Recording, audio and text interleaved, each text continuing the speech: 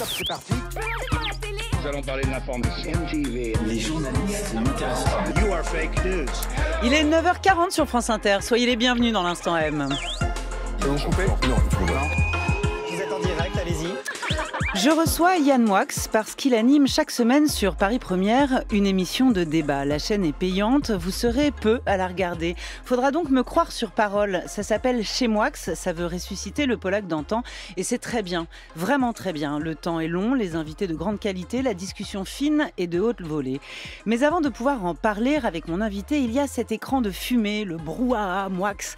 Le mec qui aime en découdre et encore à croire les 150 articles qu'il m'a fallu avaler sur le sujet qui ne s'arrête jamais. Je vais lui en parler, il va me sauter à la gorge, comme la dernière fois que j'ai essayé de l'interviewer. Pourtant, sans rouvrir chacun des dossiers, ça a peu d'intérêt. On a envie de comprendre pourquoi il fonctionne comme ça. L'instant M. Sonia De Villers sur France Inter. Mox d'or du rire jaune à Gad Elmaleh. Ouais. Alors Gad Elmaleh, il est accusé une nouvelle fois de plagiat. Ouais. Le plagiat, c'est la jalousie plus le vol, l'impuissance plus l'indignité, la paresse plus le mensonge. Mais Gad Elmaleh reste quand même un génie, Thierry, parce qu'il parvient à ne faire rire que lui-même avec l'humour des autres. Waouh Bonjour Yann Moix. Bonjour. Un petit peu coupé cet extrait parce que c'était un petit peu long, mais ça reste quand même très bien écrit. Pourquoi, quand on raccroche après trois saisons comme chroniqueur dans le talk show de Laurent Ruquier, on recommence comme chroniqueur dans le talk show d'Ardisson? Pourquoi la télé et encore la télé? Je ne peux rien refuser Thierry Ardisson. Ah j'étais en train de partir pour faire un tour du monde. Il me dit écoute, euh, est-ce que ça te dit de faire ça? J'ai dit oui, euh, d'accord, je partirai l'année prochaine à la place. Alors, indépendamment de Thierry Ardisson et de ce qu'il y a entre vous, qu'on ignore, euh, ça crée quelque chose, la télé, ou pas? Ça crée un besoin addictif d'être vu, d'être entendu? Il y a quelque chose qui se passe quand euh, soi-même on est pris dans la puissance de ce média ou pas? Je suis pas du tout pris dans la puissance de quoi que ce soit. euh, je suis écrivain. Au XXIe siècle, un écrivain, c'est quelqu'un qui euh, essaye de s'exprimer euh, où il peut. Moi, je déteste les réseaux sociaux, j'aime pas tellement Internet, etc. Euh, Thierry m'offre un moyen de m'exprimer sur des sujets qui m'intéressent. Euh, je vois pas pourquoi je m'en Ça veut priverais. dire qu'un écrivain ne peut plus exister qu'à travers ses livres et seulement ses Ah, si, livres? il peut. Si, je, il je- peut. je trouve que Je vous pose la question parce que par Bien exemple sûr. cette semaine, France 2 a consacré son magazine Stupéfiant à Welbeck et c'était frappant. C'est-à-dire que euh, on, on y parlait autant, on y traitait autant l'œuvre de Welbeck que le personnage médiatique de Welbeck, qui écrasait quasiment finalement Mais- ses livres. André Malraux avait un personnage, Mm. André Gide avait un personnage, Jean Cocteau avait un personnage, Romain Gary avait un personnage. Mm. Toute l'histoire de la littérature est une chose bien évidente, qui est que chaque écrivain a réussi à trouver son personnage. Et vous, mais c'est la télé qui Proust a vous a Mais non, mais- permis de trouver ce Mais personnage? André Malraux aussi. euh, vous savez, euh, quand vous voyez les entretiens d'André Malraux des années 70, où il est là en train de haner des, des choses absolument géniales, c'est- un écrivain, la chose la plus importante pour lui, c'est son œuvre. Mais même ceux qui sont dans le retrait, vous prenez des gens, par exemple, comme Julien Gracq, le fait qu'il n'apparaisse jamais, c'était ça son personnage. C'était ça son Patrick personnage. Modiano, Une qui Elena bredouille Ferrante qui n'existe pas, c'est devenu un fait non, je médiatique. parle des vrais écrivains là. Ouais, d'accord. Euh, pas des oui, impostures. oui. Euh, Patrick Modiano, euh, dont on sait que dans la vraie vie, il Mm. parle de manière totalement fluide et que c'est un, un grand plaisantin. Il s'est Quand il fabriqué allait son chez Pivot, personnage. il venait bégayer. Il n'a jamais bégayé de sa vie. Mm. Le, le génie des écrivains, c'est d'abord de se consacrer à leur œuvre et ensuite, comme ce sont des gens qui adorent la fiction et qui adorent les personnages, ils essayent aussi de s'en inventer un. Alors ce personnage, Amélie vous- Nothomb s'est inventé un personnage. Ça ne veut pas dire que ces gens ne sont pas dans la vérité quand ils écrivent, mais ils se cachent derrière un personnage parce que leur rapport au réel est difficile. Et alors, le moix, le moix de la télé, parce que vous avez, c'est assez inédit dans le PAF, vous avez deux rendez-vous télévisés par semaine qui portent votre propre nom. Chez Moix sur Paris Première, on va en parler, et les Moix d'or, on vient d'en entendre un extrait sur C8 euh, aux côtés d'Ardisson. Il y a même une statuette à votre effigie. C'est assez euh, unique Oh. ce moi-je cathodique. Non, c'est parce ce que moi mon, cathodique. mon patronyme autorise depuis la classe des maternelles Mm, tous les ça, jeux de mots.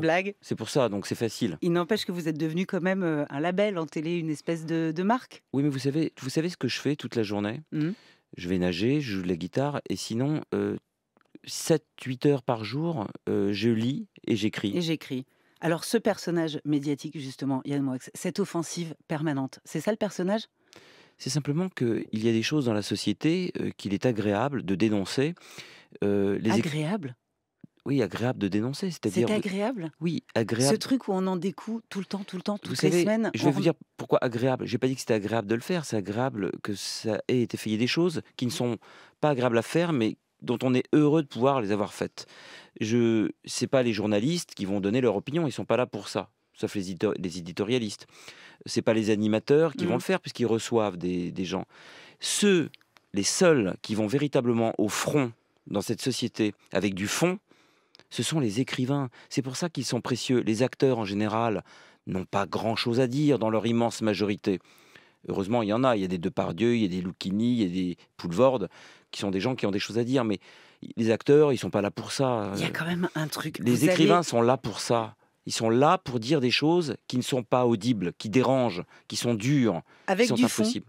Oui, avec du fond. Avec du fond, avec du fond. Non, mais vraiment, je me suis vraiment posé la question parce que comme vous remettez une pièce dans la Donnez-moi un machine, exemple de ce que j'ai dit où il n'y a pas de fond, par dans- exemple. dans- oh, je, je- je- je vous, je vous explique. Euh, vous remettez une pièce dans la machine de manière assez sidérante pratiquement toutes les semaines. Même un Zemmour, euh, il crée une espèce de gigantesque tempête, il ramasse la tempête, ensuite il se fait plus discret, il se retourne. Vous, jamais. Ça Jamais. continue. Mais moi, je suis écrivain, je ne suis pas Ouais, mais Zemmour. Quand même, on se demande pourquoi vous avez envie d'en découdre tout le temps, tout le temps, tout le temps, comme ça, dans la provoque, dans le coup de gueule et dans Non. le coup de, de, de- de boule permanent. Et je me suis posé la question est-ce que c'est un jeu Est-ce que c'est une posture? Mais pas du tout, c'est un devoir. C'est un de- devoir Bien sûr, c'est comme faire son service militaire. C'est un devoir. Regardez, après une passe d'armes hyper virulente avec Michel Onfray, à l'époque où vous étiez dans On n'est pas couché, vous qui, est- qui expliquez. est un de mes meilleurs amis, hein, je précise. Michel Onfray est un de mes meilleurs amis. Voilà, c'est ça. Mais les passes d'armes peuvent être intellectuelles. C'est quelqu'un qui est un ami qu'après, vous expliquez dans l'Obs, je crois néanmoins avoir révélé chez Onfray quelque chose de monstrueux. Mais de monstrueux, Michel- vous utilisez ce mot-là? Sur ce sujet-là, euh, d'ailleurs, sur lequel je crois qu'il avait raison, parce Mm. que je, suis, je fais partie de ceux qui peuvent reconnaître leur tort. Michel Onfray est un ami intime pour qui j'ai Mhm. une admiration sans borne. Ce jour-là, on s'est invectivé sur quelque chose d'intellectuel, la définition du mot peuple. Je me suis aperçu que deux, trois ans plus tard, notamment avec le mouvement des Gilets jaunes, je crois que Michel Onfray avait raison sur le sujet. Mais avant, pendant et après, on était les meilleurs amis du monde. Les joutes, parfois, sont intellectuelles. Et c'est ça qu'on oublie dans la société. On attaque les gens à dominem. Gad Elmaleh, qui est quelqu'un que j'aime beaucoup humainement. Je, déteste les plagiaires, je déteste le plagiat, ça me fait vomir. Mais Gad Elmaleh est quelqu'un que j'estime et que je respecte. Mais quand il fait une connerie de ce genre-là, mon devoir, et personne ne le fait parce que les gens ont peur de le faire, c'est de dire arrête, tu vaux mieux que ça. Tu n'as pas besoin de plagier. Donc, il y a joute, il y a joute verbale parfois Intellectuel. extrêmement euh, virulente. Ça passe par le verbe, ça passe par le mot, ça passe par le verbe euh, et par, euh, et par l'image. Et derrière, on est les meilleurs amis du monde. Et moi, je trouve ça extrêmement intéressant parce que je me, je me demande si ça, c'est pas plus grave et plus inquiétant que vos déclats, euh, je sais pas quoi, sur les flics, les footballeurs, les rappeurs, les gonzesses, etc. Je, je me demande si participer au gueuloir général. Mais je n'y participe pas. J'ai... Ah bon? Non, Ah, si. Mais non, attendez. Euh, je vous répète, hein, et euh, Alors, juste laissez-moi oui, finir et, je vous et prie, vous me direz. et vous me vous direz. Vous me direz, parce que je me demande si moi, le, gueula- le gueuloir général, et j'appelle ça du gueuloir général, et c'est toutes les semaines, et ça recommence toutes les semaines, et ça monte, et ça redescend, et ça repart, etc. Est-ce que ça, ça produit de la pensée? Est-ce que ça, ça produit de l'intelligence? Est-ce que ça, ça produit Oui, de la culture? Est-ce que vous, Oui. vous vous en foutez non, Parce que vous, la culture, vous l'avez? Parce que vous, l'intelligence, vous l'avez? Parce que vous, vous êtes capable de construire non, votre mais discours? je- je Mais qu'est-ce qu'on donne mais aux Sonia, gens? Sonia, je ne suis pas d'accord avec vous. J'ai fait trois ans d'On n'est pas couché. Euh, les gens m'arrêtent dans la rue pour me dire merci, grâce à vous, je lis Emmanuel Lévinas, je sais qui est Charles Péguy. Trois ans d'On n'est pas couché, où j'ai réussi à instiller euh, graduellement, parfois euh, de manière euh, affirmée, des goûts littéraires. Hmm. Et des gens ont découvert des écrivains, des gens ont découvert Emmanuel Lévinas en regardant On n'est pas couché. C'est énorme. Quand je fais la chronique pour Thierry Ardisson, il y a un débat d'abord, avant ou après. Euh, je vois de temps en temps, dans des débats intellectuels, des formules que j'ai lancées qui réapparaissent prises par des journalistes. Pour le virtuel et le, le réel, j'avais expliqué un jour que le tremplin de la haine est dans le virtuel et que les coups réels, on les prend dans la réalité. Il y a des débats intéressants toutes les semaines chez Thierry Ardisson auxquels je suis convié, des débats strictement intellectuels sur Vichy, sur l'antisémitisme, qu'est-ce que les gilets jaunes, etc. Euh, là, j'injecte du fond avec un sens de la formule que peu de gens ont parce que à force d'écrire, à force de Ça, réfléchir, Vous jouissez d'une efficacité. et j'ai une pensée, si vous voulez, personnelle. Peu de gens ont une pensée personnelle aujourd'hui. Il y a ceux qui sont très intelligents mais qui récitent Libération et ceux qui n'ont pas pensé du tout. Et moi, je suis capable de penser contre moi-même. Je suis capable de dire l'inverse trois semaines plus tard parce que ma pensée a évolué. La pensée, c'est pas dogmatique, c'est pas Éric Zemmour. C'est quelqu'un qui cherche, qui se trompe, qui erre, qui est dans l'errance, dans l'erreur, qui dit finalement aujourd'hui, je pense ça. C'est plus élaboré que la, la semaine dernière. Ça, c'est la, La première vraie chose. question, c'est pourquoi il faut gueuler Pourquoi Mais il ne- faut gueuler gueule Pourquoi il faut soulever la boue et en recevoir Mais- mais systématiquement dans ce toutes que les dis- semaines? Parce que vous savez parfaitement, Yann Moix, que quand on soulève la boue et qu'on en reçoit euh, toutes les semaines, à la fin, les gens qui écoutent et qui regardent, ils retiennent aussi la boue. Mais ils boue. retiennent ce qu'ils veulent. C'est vrai que vous avez raison sur un point. Mhm. C'est que, en général, dans ce que je dis, il y a toujours une nuance. Il y a toujours quelque chose d'assez euh, fin. Et celle-là, elle reste pas. Mais non, parce qu'à la, télé- à la télévision, ça ne passe pas, la nuance. Mais c'est pas mon propos, c'est pas mon problème. Moi, je fais à la télévision ce que j'aurais fait dans un article ou dans une, un éditorial, euh, parce que c'est écrit ce que je fais. Je m'arrange toujours pour qu'il y ait une nuance qui fait que quelqu'un d'autre n'aurait pas pu le dire. Donc, il y a ma griffe, il y a ma signature, et tant pis pour cette immodestie. De toute façon, au toute point où j'en suis. Non, mais de toute façon, je, ne suis- je- non, mais je- suis quelqu'un de très humble, mais je n'ai jamais été modeste. Euh, L'humilité et la modestie sont deux choses très différentes.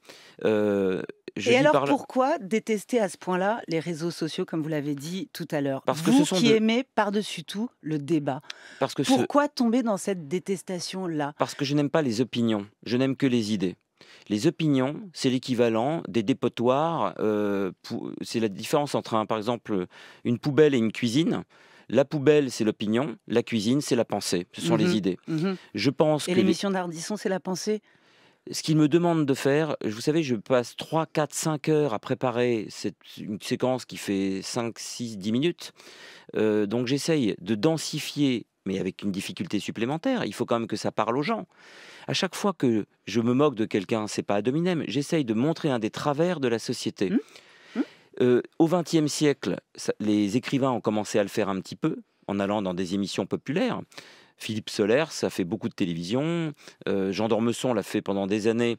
Et Jean d'Ormesson est le seul Justement, écrivain à être dans la Pléiade aujourd'hui. Ils avaient accès à des maisons d'édition extrêmement prestigieuses, ils avaient accès à la presse écrite, ils avaient accès au plateau télé. Et d'un seul coup, il y a énormément de gens à qui on donne pour la, pour la première fois une part de voix. Bien sûr que ça peut charrier de la merde et des horreurs absolument épouvantables. Tout le monde sera d'accord avec vous. Mais pour la première fois, il y a des gens qui peuvent parler qui peuvent, qui peuvent dire Mais écoutez-nous, ça on n'en peut plus, ça on en a marre, ça on n'en veut plus. Et en plus, tous ces gens-là ne sont pas une meute comme vous aimez à le décrire. Ils ne sont pas forcément euh, homogènes, ils ne sont pas forcément, ils ne parlent pas forcément d'une même, voix. il y a un endroit pour ça, ça s'appelle les bistrots. Vous savez? Et euh, les réseaux sociaux, c'est un bistrot numérique géant. Les propos de bistrot, euh, ça peut être Pas très que, drôle. non, que. mais pas que, mais très bien. Simplement, vous savez ce que c'est qu'une démocratie? C'est un endroit où les idées sont exprimées de manière claire et hiérarchisée. Je suis désolé, mais un prix Nobel de littérature, Mm. En termes de pensée et d'expression, n'a pas la même puissance, la même clarté que un type qui sort euh, de, de sa chambrette. Et, et cette manière de mettre tout sur un pied d'égalité transforme la société en une course de récréation, en une, pardon, une cour de récréation géante. Et je suis euh, pas du tout euh, pour une sorte d'élitisme. Mes écrivains préférés sont des gens qui haïssaient Mm. l'élitisme. Charles Péguy. L'idée est au contraire de faire en sorte que tout le monde puisse avoir la parole à la, euh, condition d'avoir gagné la possibilité de la dire. Or, il y a un système en France qui s'appelle le système scolaire dans lequel nous sommes éduqués. Il y a des métiers qui Et existent pour s'exprimer. Et puis Les journalistes, par exemple. Et puis il y a la télévision, Yann Moix, euh, spectacle auquel vous participez. Et puis il y a la télévision. Oui. Il y a la télévision de Ruquier, il y a la télévision d'Ardisson, où aussi, pour que la parole s'entende, on favorise ce qui se passe tout à fait sur les réseaux sociaux tous les jours, le gueuloir, le clash, la provoque, le choc. Mais- vous le savez Non, mais euh, comment dire?